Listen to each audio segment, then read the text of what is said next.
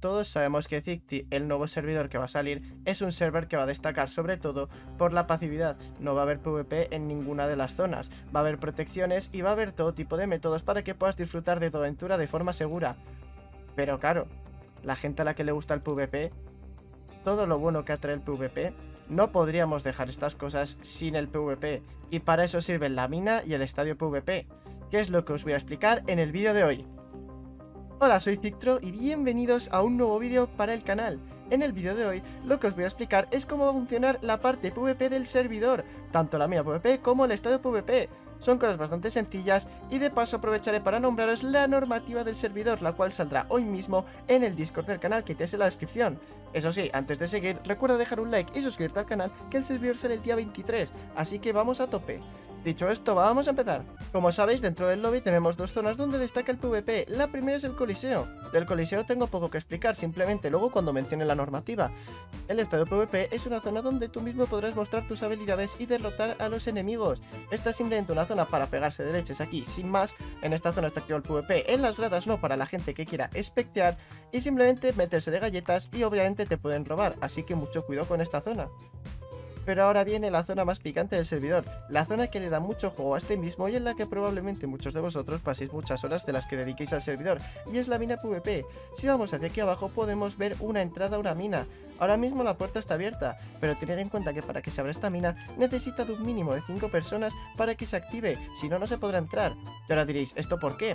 Pues muy bien, la mina es una zona donde te puedes chetar muy rápido de minerales. Por ejemplo, muchas de las personas se quejaron en Cictidos de que eh, a la hora de materiales, el hierro era un material muy poco común. Es decir, era muy difícil de conseguir una vez se quitaban las primeras minas.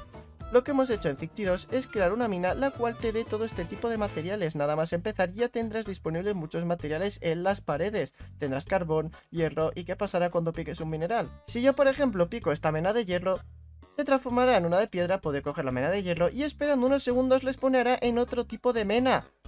Bueno, justo, justo ha tenido que tocar diamante creo que hay como un 10% de que por aquí toque el diamante en esta zona del principio, así que me puedo considerar bastante afortunado de ello. Y en eso consiste la mina, tienes minerales en todos lados y puedes irlos picando, picarás un material y te les en uno distinto. Y ahora os estaréis preguntando, ¿qué es eso de ahí? Pues muy bien, obviamente un aspecto de la mina está muy chetada, te puedes chetar muy rápido a materiales. No es fácil conseguir objetos como diamante, pero conseguir hierro, carbón y oro si te pones un poco lo consigues bastante, bastante sencillo. ¿Qué pasa con esto? Que aquí hay PvP y queremos evitar que la gente se ponga a campear, porque claro, tú hay cinco personas justas, te metes aquí al fondo de la mina y te pones sin más a campear, muy bonito. Tampoco creo que te salga de todo rentable, porque al final, una cosa buena de la mina es eso, que puedes pillar a alguien picando minerales desprevenidos y robarle todo el inventario, pero una de las cosas chulas es el PvP. ¿Qué hemos hecho? Cada vez que entres a la mina se te, aplicará este efecto de glowing. Es decir, que si tú estás por aquí te van a poder ver desde la otra punta de la mina prácticamente. No desde la otra punta tal cual, pero si por ejemplo hay un enemigo por aquí y tú estás mirando para otro lado picando, te podría sorprender por detrás. Así que tendrás que estar en todo momento bien atento de quién te puede atacar. Además de este efecto se aplicará también el efecto de rapidez y el efecto de salto para que puedas moverte sin problemas por toda la mina y sea mucho más dinámico. Como sabéis, esta mina tiene de todos los minerales, pero cuanto más avances, mejores minerales te pueden salir y más porcentaje tienes de que te toque diamante o materiales mejores. Puede tocar todo tipo de material menos netherita, que ya hablaremos de ella cuando se active el nether en uno de los eventos del servidor. Muy bien, habiendo explicado todo esto, como veis yo también tengo el efecto de glowing, os voy a pasar a explicar la normativa que por cierto hoy mismo se va a publicar entera sobre todo en el servidor de Discord, así que si quieres leértela es literalmente obligatorio porque si no probablemente acabes baneado. Así que vamos a ver la normativa específicamente de la mina y estadio PvP. Como veis este documento es al que todos tendréis acceso una vez se lance en el servidor, pero a nosotros la parte que nos importa es el apartado 5, mina y estadio PvP. Y aquí estamos en el apartado de mina y estadio PvP, podéis leer un poco aquí lo que pone, pero básicamente explica lo que yo os he explicado a lo largo del vídeo y pone aquí las tres normas.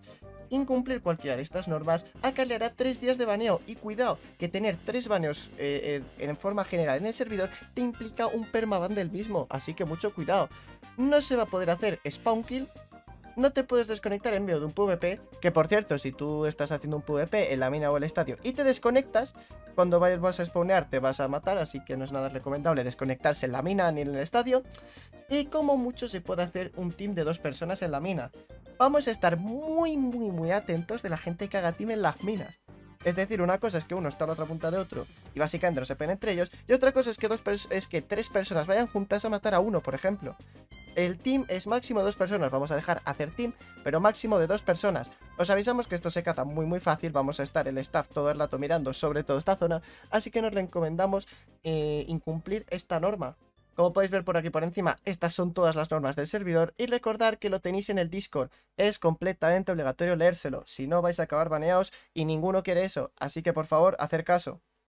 Y muy bien, habiendo acabado esta explicación, acabamos el segundo vídeo sobre tutoriales de Zicti. Todo esto va a ir entero en una lista de reproducción, la cual podréis observar para cuando tengáis cualquier duda.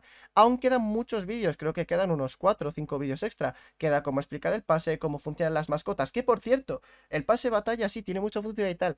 No os imaginéis las mascotas, la cantidad de cosas que tienen. Y bueno, en general, muchas, muchas cosas más. Así que si quieres más tutoriales muy rápido para que estén todos antes de que salga Zicti, recuerda dejar un like importantísimo, comentarme cuál quieres que sea el siguiente tutorial y dejar tu maravilloso like. Dicho esto, me marcho, un saludo y espero verte por el servidor el viernes. Adiós.